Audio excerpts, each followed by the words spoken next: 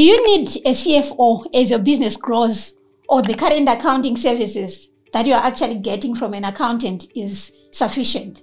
Hi, my name is Molen Mukuzi. I'm the managing director of Brendmo Accountants as well as Anchor Point Advisory. We are accountants for business growth. Someone might ask, what do you mean? Because we actually partner with businesses, helping them achieve financial strength through top line growth as well as increasing their bottom line. In this video today, I'll focus on the difference between an accountant and a CFO and why your business needs both of them.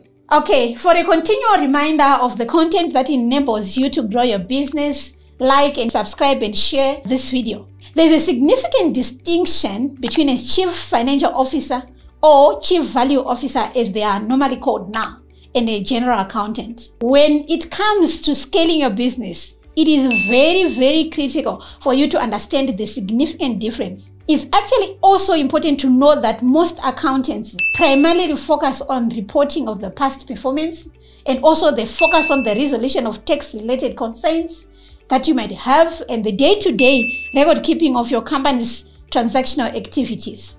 They are responsible for ensuring that the company's tax is computed correctly and is submitted on time and they are also for monitoring the company's compliance with different uh, regulators, for example, SARS, Department of Labor, etc. Accountants typically perform the following tasks. One, they do the basic reporting, that is your normal profit and loss and balance sheet reporting for your past months. They also do management reporting on, on quarterly basis for you to make decisions. They also do tax filing for your tax return, payroll processing, and also bank reconciliation and the compilation of financial statements at the year end. Yes, accountants, depending on their level of qualification and skills, can identify potential areas of concentration for the business's future. But I repeat, depending on their level of qualification. But in most cases, they are not necessarily exposed to the other aspects that could influence the company's future strategies. The position of the CFO or Chief Value Officer, on the other hand, is one of strategic. That is, they are concerned with the future of the company.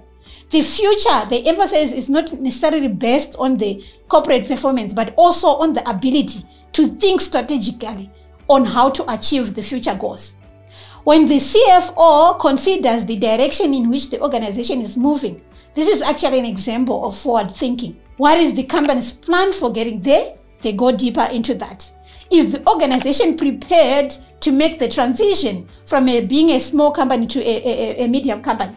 What are the procedures, processes, controls, and mechanisms that are required to get there? Despite the qualifications, these are the characteristics and abilities that distinguish chief financial officer from a general accountant. CFOs usually manage the following aspects of the organization. They are heavily involved in business planning or business development, which is the business strategy. They establish the business KPIs and measure them. They do the cash flow or manage the cash flow management of the business, reporting and focused on the pipeline, budgeting and also financial modeling. They also get involved in product mixing as well as the commercialization of the products, reporting to the business stakeholders as well. They provide advice or, or to the board of directors or the executive of the organization. In a nutshell, the CFO is an enabler of the business growth and success. In this video, I'm going to actually answer a couple of questions that you might actually have right now. So stay with me. You might be wondering about the following things. First, you might be asking, isn't the position of the CFO reserved for those large corporations, for the big companies? I'm going to answer these specific questions with a double question. First of all, are you in business to grow your business? Are you aiming for the growth in order to become more significant? If you answered yes to these questions, this suggests that CFO services are required to startups, SMEs, and large enterprises on an equal basis. Someone can say, when should I consider then hiring a chief financial officer or a CFO? If you want to take your business to the next level, or if you want to scale your business, now is the time to invest in a chief financial officer. You better be prepared for the changes that are coming in your industry. You better be ready for the growth of your business and to put things in order. Someone could say, What happens if I can't afford a full time CFO? It's okay. You don't necessarily uh, need a full time CFO. You need a CFO services. This can be on a part time basis or virtual. And you do not necessarily need to break a bank, but you can't afford not to have a chief value officer as you scale your business. Someone might say, I already have an accountant who is taking care of my financial records, who is doing my bookkeeping. Do I really need the services of a CFO? In this video, I clearly stated the distinction between a chief financial officer and an accountant and the, uh, and the roles that they both perform.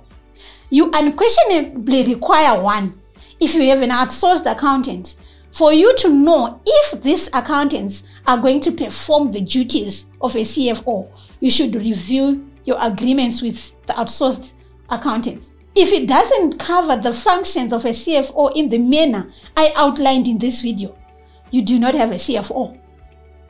You only have an accountant. It is preferable to obtain one, whether full time or part time.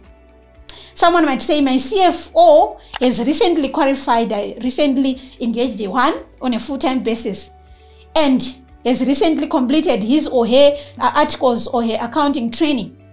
Your question might be Is he going to assume the responsibility of a CFO?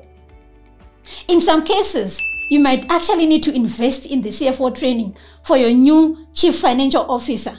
Typically, your CFO is in the process of moving from being a technical grinder to being a strategic thinker. So training aid and guide him or her through the process of shifting gears.